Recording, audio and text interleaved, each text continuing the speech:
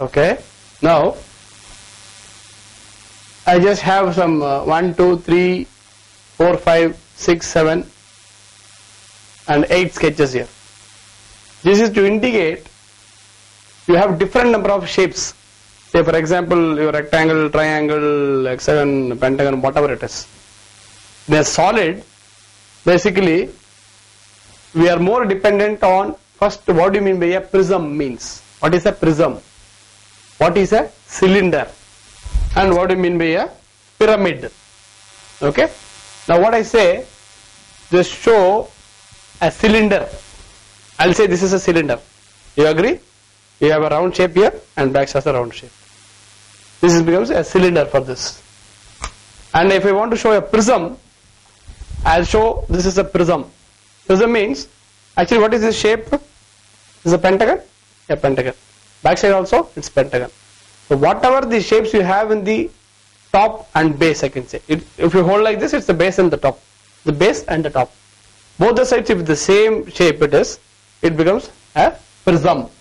For example, you see this sketch. What is this shape? It is a triangular shape. Why it's called right triangular? Exactly a triangle. It is resting on the base. So right triangular prism. Right triangular prism is first. Like this, what will be this then? Right pentagonal prism. Okay. The prism means simply understand the top and base will be with same shape. It's called prism. So I have an example of here pentagonal prism and something called here oblique pentagonal. Oblique means the axis of the body that is for example this pentagon you know this shape pentagon it have an axis here the center is the axis and from center if this axis of the pentagon is slightly inclined okay pentagon you can hold it like this or anywhere. It, it is slightly inclined to any angle either to HP or VP that becomes oblique. The name oblique means the axis of the body is in you know have an slight inclination with respect to the horizontal or vertical plane. So I say this my axis here if I just put an horizontal line that axis got a small tilt or inclination. It's called oblique. So a prism means the top face and the base are same. It should have a same shape. Pentagon means pentagon in the bottom and top also. Or whatever the different shapes it is. Oblique is when the axis is slightly inclined to the base or to the ground. It's called oblique. Okay? Then I go for a cylinder. Cylinder I showed this is a cylinder shape. Now this will be the right circular cylinder. I have written right circular. Cylinder is this. Now again oblique circular means what? If the cylinder I got a center of axis that is the imaginary axis if there is inclined like this it becomes oblique circular cylinder. The second one. The third one something called pyramid. Basically what mean pyramid? I hope you have you know watched the movies etc you know what is a pyramid means. It's nothing but whatever may be the base shape it is but the joining point in the top will be a single point. And this top point is called either apex or vertex. I have written here. It's vertex or also called apex. Okay. The base may be of anything. Here I have written it's right triangular pyramid it is.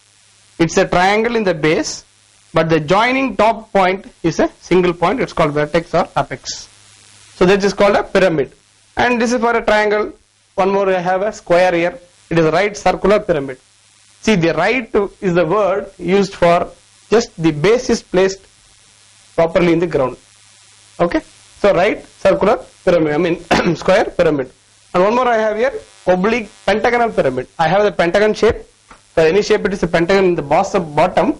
But the axis of the suppose this is what is this? Ah this I have a hexagonal pyramid this is an hexagon. The shape is hexagon. It's a pyramid because joined to the top point is one. If this is suppose straight it's kept like this it will be a right hexagonal pyramid. When the axis is inclined the imagination is the axis comes in the center. It is imaginary. We cannot see through the naked eye. So if this is inclined like this it will be a oblique say this if this is example this is an hexagonal pyramid. So here what I've drawn is oblique pentagonal pyramid. That's it so these sketches are very very important because based on this most of your questions will appear If you know what is a prism perfectly, I'm not, see, I've just drawn only three sketches. You may have, whatever you have, the all the polygons, your triangle, rectangle, I mean, uh, your pentagon, hexagon, all you will get. Both the sides, top and base are same, it will become prism. If it is like cylinder means, you can obviously understand what a cylinder means. Then it is pyramid. Pyramid is top point is a single point which is called apex or vertex. That's it. Okay. Very very important. You should remember what is this means. If you understand once you a prism is this, a cylinder is this, a pyramid is this, you will then go to the concept of thinking where should I place the base, where is the top. That depends on the questions. Okay.